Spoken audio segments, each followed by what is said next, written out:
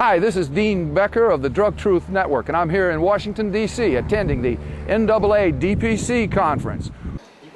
All right, once again, we're speaking with Judge Arthur Burnett, and uh, we're here at the NAADPC conference in Washington, D.C. And if you would, sir, uh, outline for us uh, what we've accomplished here and what we hope to do. Well, the particular panels that have been presented at this summit were people selected to come up with not only discussing what the problems are, but coming up with practical, pragmatic solutions to bring about change and to solve the problems. And so the result of this summit conference will be uh, taken under consideration and implemented to the extent we had the resources and people to do it to influence legislative changes as to crack cocaine versus powder cocaine, with reference to juvenile delinquency programs to deal with rehabilitation and keeping kids out of the pipeline to prison, to bring about affirmative changes in the number of African Americans who are ending up getting deeper and deeper into the criminal justice system. So the whole program here has been geared to future action programs where we will accomplish results. So this is not just a meeting just to meet, but to come up with proper solutions and to understand the real dynamics of the problems and how best to bring about changes to solve those problems. Of course, a big issue is adequate personnel, adequate financing, educated people generally so that they can then convey attitudes and views to legislators and others to change legislative priorities as to what problems we need to address in America, as opposed to problems even abroad, to solve the health care problems, the disparity problems, the disparate impact of criminal justice problems, and so forth. So we have a more intelligent, educated voter population that will elect people who will address these problems in a pragmatic and realistic fashion. And this is Howard Wooldridge of LEAP, Law Enforcement Against Prohibition. I'm here in Washington, D.C. because I want to reduce crime, death, disease, and drug use. And we know that the way to do that is to end the prohibition of the 10 illegal drugs. Yeah, I consider it quite an honor to have with us uh, Mr. Kurt Schmoke, uh, um, one of the pioneers, I think, in, in opening, opening the dialogue on the need to uh, change our drug laws. Uh, Mr. Schmoke, what's your, your take on the proceedings thus far here at the NAA DPC? Well, I'm very pleased that this uh, national coalition is having its third summit. Very Im- important because there's still a lot of public education that has to be done.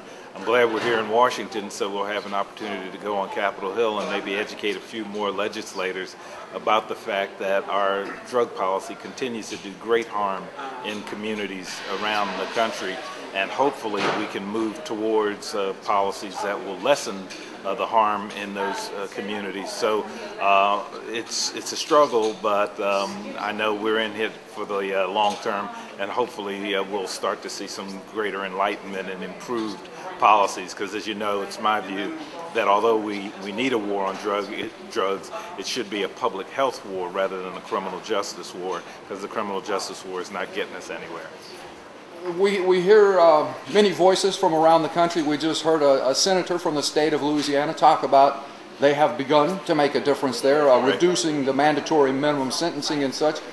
Um, and then we hear from others who say this is uh, a type of bigotry that, that's practiced around this nation. Um, your, your, thoughts on that, sir? How do we break the back of that, that bigotry? Well, it, it really is uh, just a shame that even under the current drug policy, uh, we really have two different wars on drugs uh, going on. I mean, in some communities, particularly if you're wealthy and you get in trouble with drugs, you go to treatment and you go to recovery, and uh, it's treated as a health problem. But if it's low income people, it's treated as a crime problem. And so we see this terrible disparity, and it ends up with our prisons uh, having a heavy disproportion of black and brown people, when in fact drug use affects everybody, not just the black and brown population. My hope uh, really was that this congressional uh, uh, methamphetamine caucus would start to talk to those who were involved with other drugs and see common ground and maybe start to treat this more as a health problem because I know that the methamphetamine caucus doesn't want to incarcerate all the young people in uh, the United States who've gotten caught up with methamphetamines.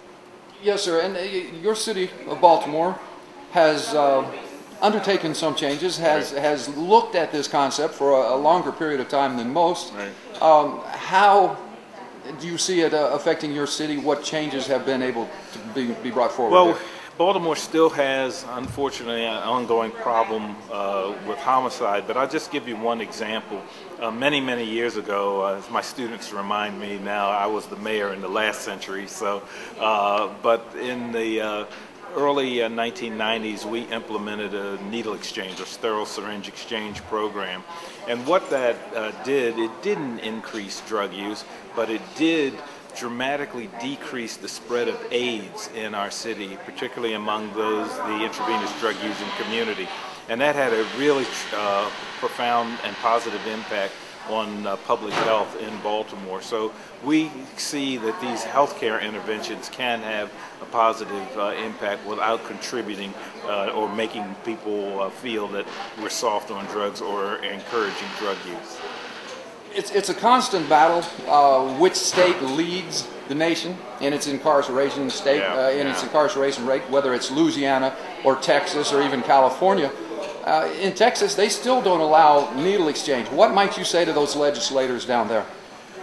Well, I would say that if they allowed policies to be made by science and not politics, that uh, they would allow things like needle exchange to uh, occur. Um, it's a long uh, road.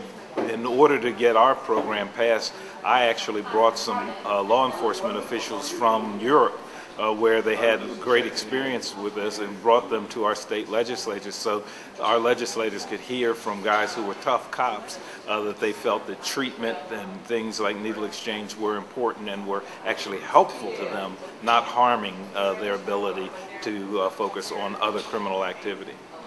One last question for you, sir. Uh, it's been my observation that this drug war has lasted some 35 years, 50 Yeah. years, or even 100 years if you go back, that's right. back to the Harrison Narcotics Act. Right.